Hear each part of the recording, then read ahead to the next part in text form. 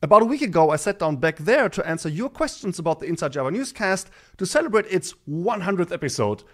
But I didn't get around to putting all my answers into the actual video because I ran out of time during editing because I had to rush to JFall, which as always was a blast by the way. If you get the chance to get there, do take it. So this is the second half of that video with all the remaining answers and to catch you up a bit, the most recent one was about where the team sits in the world, and I created this funny little map which shows that we're mostly in USA and Europe. But the second half of that question didn't actually answer while sitting there, which is with that in mind, how do we work together? And I think the answer has uh, three parts. Uh, the first part, and I think a pretty big one, is that we work pretty dependently of one another. I would say that for most people on the team, most of their work is spent doing their own stuff. Meaning, I create my newscast, and Jose works on JEP Cafes, and then we travel to conferences, create our own talks, or make our own explorations into new APIs. All of that is classic. Sit at home, be focused on your own kind of work. Then if we have to communicate beyond that, maybe just because, you know, some tasks like organizing a live stream or JavaOne, obviously, or certain other things do require a lot of communication, but also, you know, we reach out to each other when we have help, when we need help, or when we have the feeling that maybe somebody else already explored this and can uh, support our own explorations. I think the next step then definitely is Slack. Slack is the backbone of our communication. We do have email, obviously, but within the team at least, we use it sparingly. Um, so if I reach out to Billy to say, hey, can you take over my newscast? This would be a Slack message, not an email, obviously. And so, yeah, Slack buries the big chunk of our communication. In The last and third piece is just Zoom. So, whenever something needs more high fidelity, we have meetings like the occasional team meeting. I really, I'm really proud of our team that we do not have like constant meetings. Um, I have very few throughout the week that I have to attend actually just the one. I just have the one team meeting that I have to be at. And other meetings are, you know, ad hoc. Like if I need somebody and I need to communicate something that is, you know, goes beyond what you can reasonably put in Slack, then it's going to be Zoom. But yeah, so work independently, chat wherever it's necessary, and then video calls uh, for the last, I don't know, 10, 20% maybe. Okay, with that, let's go back to me sitting there, being in the process of answering the second half of yet another question that I didn't yet complete. As you've just seen, the team is very wide. We do a bunch of different things. On this YouTube channel, not everybody is represented equally because other people do other important stuff that is aimed at, you know, another audience. And so, yes, we do a bunch of things, right? Back to the question, what we do to engage the community. Um, we attend and sponsor conferences um, and communities. Uh, I had to make a list because it's so many things. Uh, we run our own conference, JavaOne, definitely come there if you want to meet the architects. We're going to be in the Bay Area in mid March, 17th to 19th, if I remember correctly, 2026. Um, so that's something that we do that engages the community, I hope. YouTube, podcast, social media, of course. I do have my own Discord. nipafx.dev is my website, and there's a Discord link at the top if you want to go there. Uh, we engage with the educational sector in the United States to make sure that Java stays the number one um, um, language in schools. But what we do not do, and maybe that was what the question was aimed to, is something like coding challenges. And you know, maybe we should. Let me know in the comments if you if you if you uh, folks think that yeah, you know, like a coding challenge, something that we come up with would be interesting. Maybe we will. Let us know.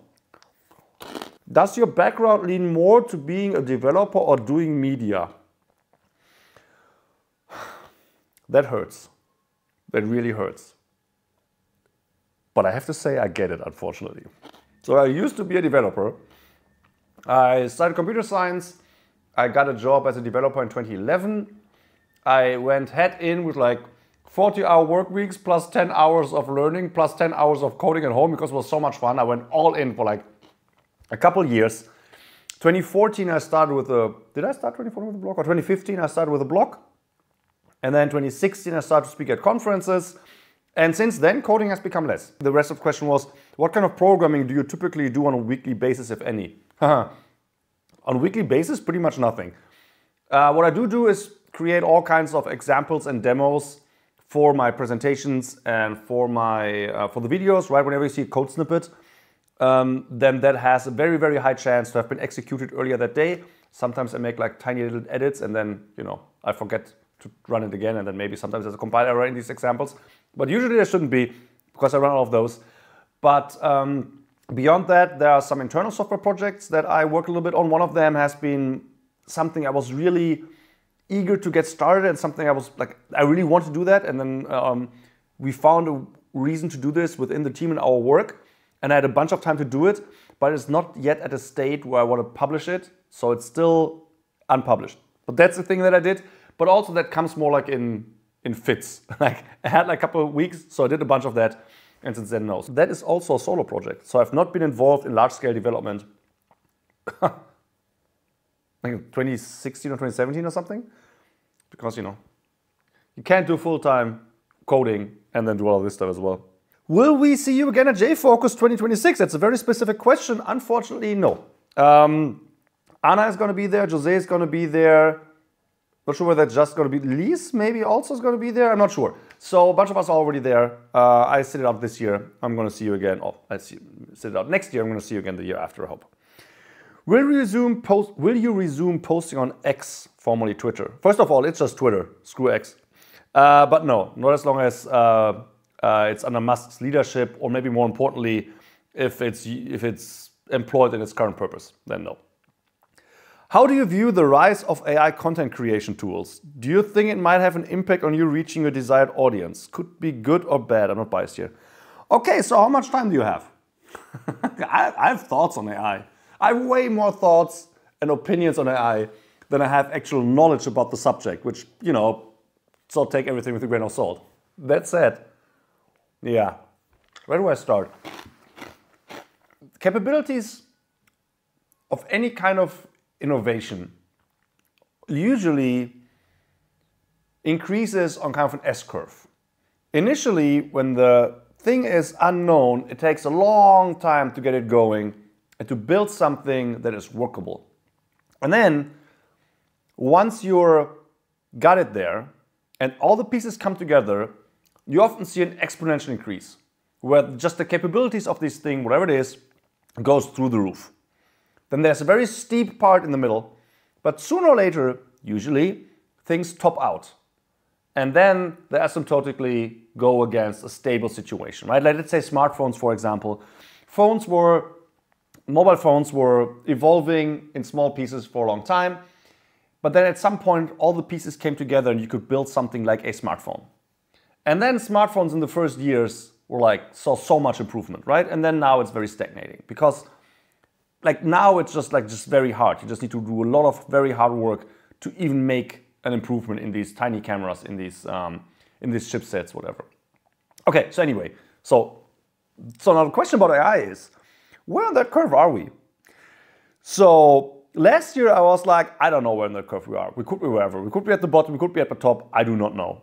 Now with ChatGPT 5 and more people recognizing the the limitations that might not be able to, to get removed. Recently, the news were um, hallucinations might something that is just not eradicable, that might just always be there. It's intrinsic.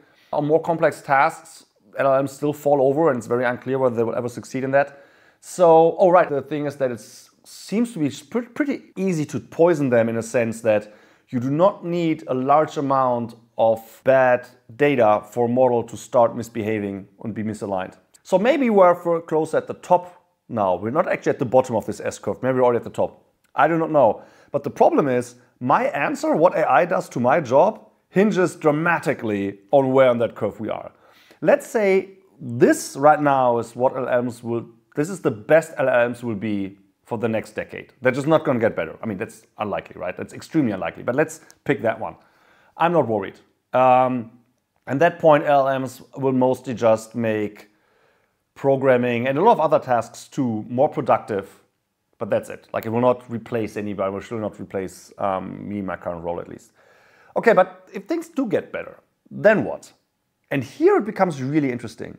Because the short-term worry of everybody is that you get replaced by your boss, right? You, you by a button. Your boss replaces you with a button. It presses the button, presses the AI button. Out comes whatever you do, or whatever I do. And I think my job is way more vulnerable to this than all of your jobs because my job is take publicly available information, synthesize them, and make them amenable to a wider audience. AI is pretty good. LLMs are pretty good at that. So that's not great for me. So I think I'm more at risk than, than, um, than you probably are. But I do not think that that's the biggest risk. If it is easy to replace me with AI, then I'm not worried that my boss will replace me with AI. Then I'm worried that you will replace me with AI. Because you, you will be the ones who want to have the information that I'm sharing now, right? You're the ones, my, my prime example that I always give for like two years now, I talk to people about this. My example is always the same. You get up in the morning, you prepare breakfast for your family before they get up, and you're like, ask your favorite AI um, uh, tool to be like, hey, summarize the latest changes in Java for me. That thing will know that you have eight minutes until you're done buttering the toasts. That thing will know what it told you yesterday, will know your interests, and will know your knowledge that you already have. And it will purpose build the answer for that. You know, it can even be, I don't know, a sexy cowboy or whatever you want it to be, right? So, in that situation, if I get good enough that you can, that, that, that my boss can replace me with a button, you can replace me with a button, and you have a much higher incentive for that because if you replace me with a button, you get tailored information just to your situation that you're in, to your to knowledge that you have, to the time that you have available, in the mode that you have available.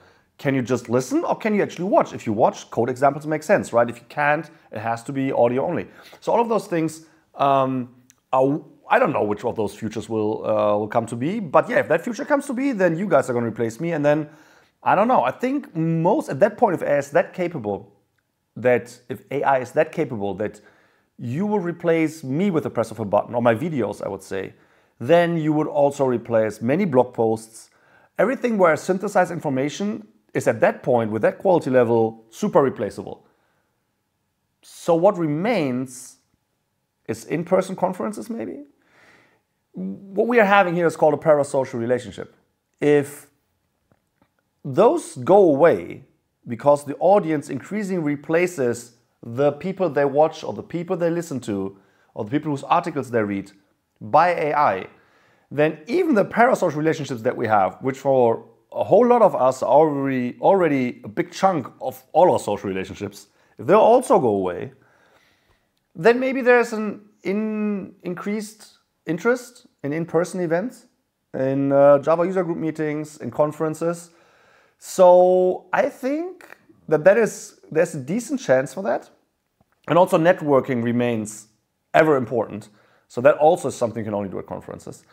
So I'm thinking if AI replaces most of my work with you, you, you pressing a button, then what will probably remain is going to conferences.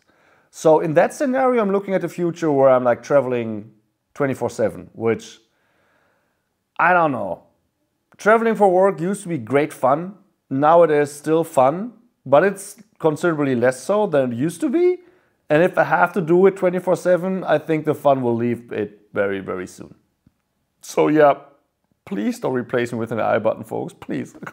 I'm doing my best here. Please. Please like and subscribe the video. No, I'm just kidding.